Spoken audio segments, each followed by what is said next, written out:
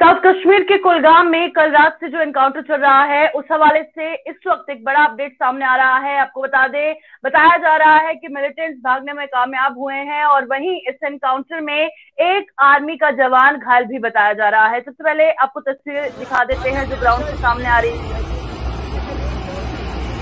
सीधा कुलगाम एनकाउंटर की ग्राउंड की तस्वीरें आप देख रहे हैं। वहीं ज़्यादा जानकारी के लिए हम रुक करेंगे। हमारे साथ हामिद।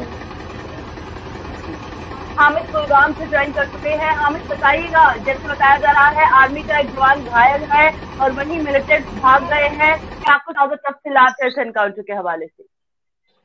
हाँ जी मैम, ये रात के अंधेरे में वहाँ पे घेराव किया गया और बाद में जब दो बजे की रात वहाँ पे मिलिटेंट्स का उन्हें फौज को इतला मिली थी कि वहाँ पे मिलिटेंट्स छुपे हुए हैं और रात के दो बजे वहाँ पे दस पंद्रह मिनट तक गोलियों की आवाज़ें सुनाई दी, जो कि आसपास के लोग हैं आस पड़ोस के लोग हैं, वो सहम गए, क्योंकि इतनी ज़्यादा गोलियाँ बरसाई गई, इतनी ज़्यादा ग्रेनेड की आवाज़ें या बाकी चीज़ों की आवाज़ें जो वहाँ पे वोट दिया गया, उसकी आवाज़ें सुनी और वो सहम गए।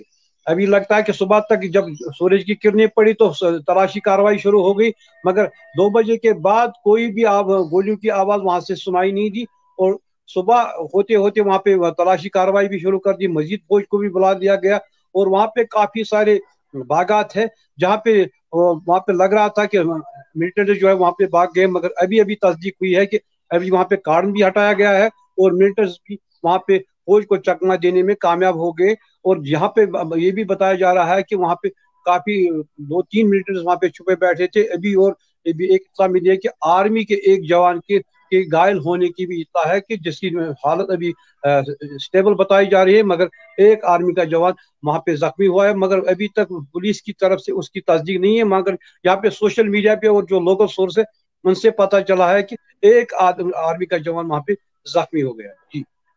और, और कल रात से इनकाउंटर चल रहा था तो जहाँ जो इलाका है ये क्या ये रिहायशी इलाका है और पूरी रात गोलियों का तबादला जारी रहा और आज सुबह ऑपरेशन खत्म हो चुका है?